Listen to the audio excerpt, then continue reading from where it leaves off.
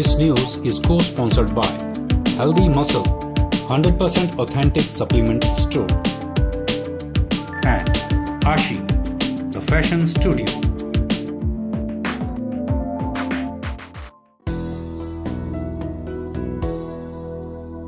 Himalayan दिव्यांग कल्याण संस्था की मासिक बैठक भूतनाथ मंदिर परिसर में आयोजित की गई। बैठक की अध्यक्षता दिव्यांग कल्याण संस्था के अध्यक्ष हेमलता पठानिया ने की। इस दौरान दिव्यांग कल्याण संस्था के अध्यक्ष हेमलता पठानिया ने कहा कि आज की बैठक में दिव्यांगजनों के मुद्दों को लेकर चर्चा की गई। हेमलता पठानिया ने कहा कि हाल ही में बल क्षेत्र के गलमा की रहने वाली दिव्यांग महिला के साथ भेदभाव का मामला देखने को मिला है।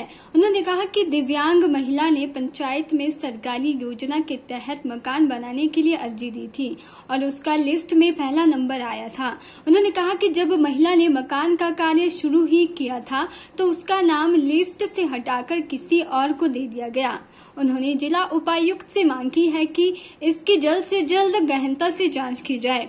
उन्होंने कहा कि हाल ही में सुंदरनगर में एक मानसिक रूप से दिव्यांग बच्ची के साथ रेप का मामला सामने आया है। उन्होंने कहा कि दिव्यांग जनों के लिए अलग से कानून तो बना दिए गए हैं, लेकिन वह जमीनी स्तर पर कहीं भी नज़र नहीं आते हैं। उन्होंने दिव्यांग कल्याण संस्था की तरफ़ से मुख्यमंत्री जयराम ठाकुर और जिला उपायुक्त अरिदम चौधरी से मांग की है कि जल्द से जल्द मंडी में दिव्यांग जनों के लिए अलग से बोर्ड बैठाया जाए ताकि दिव्यांग जनों को तुरंत न्याय मिल सके। आज जो है हमारी मासिक बैठक हो रही है। और इस बैठक में सबसे पहले मैं एक चर्चा करना चाहूँगी कि हमारे संस्था के पास एक मामला आया हुआ है, जिसमें एक महिला हिमा देवी जो चालीस प्रतिशत दिव्यांग है और हरिजन जाति से संबंध रखती है, उसका उसकी पंचायत जो है गलमा पंचायत पड़ती है विकास खंड बल पड़ता है। उसमें जो है, प्रधान इनके घर में आकर बोल के जाती है कि आपका नंबर जो है, पहले नंबर पर आपका मकान है और आप जो है, इसका मटेरियल वगैरह फिंकवा दो और आपके अकाउंट में जो है पैसा आ जाएगा।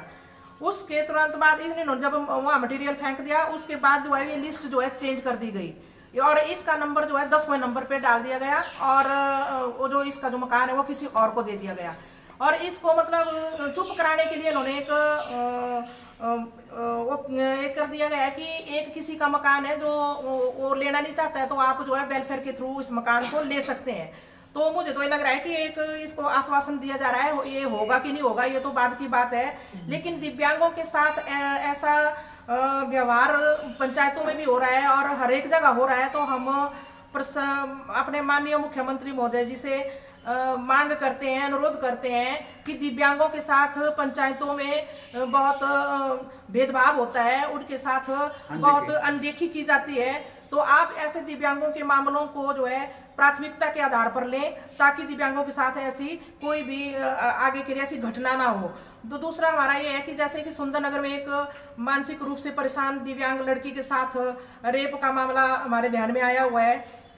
एक तरफ़ सरकार दिव्यांगों के लिए बहुत से कानून बना रही है और भी कानून बने भी हैं लेकिन वो जमीनी स्तर पर कहीं भी लागू नहीं है क्योंकि उस लड़की के साथ जो रेप केस रेप हुआ है वो एक आ, सरकारी नौकरी करता है और एसडीएम के कार्यालय में है। ये बड़ी शर्म की बात है कि ऐसे जो है हमारे दिव्यांगों दिव्यांग लड़कियों के साथ ऐसा हो रहा है और हमारी बच्चियाँ जो है सुरक्षित नहीं है।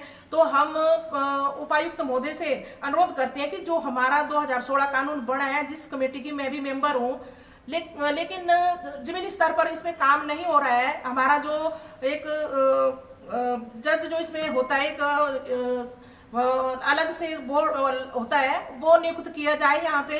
ताकि हमारे जो केस हैं वो प्राथमिकता के आधार पर किए जाए। एसडीएम हमारे इसमें चेयरमैन है लेकिन वो अपने स्तर पर जितना उन, उनके दायरे में आता है वो उतने ही काम कर पाते हैं। तो हम चाहते हैं कि जो ऐसे कृत्य दिव्यांगों के साथ करते हैं उनको जो सजा का प्रावधान है वो सजा उनको मिलनी चाहिए। के चैनल के लिए मंडी से शिवानी की रिपोर्ट।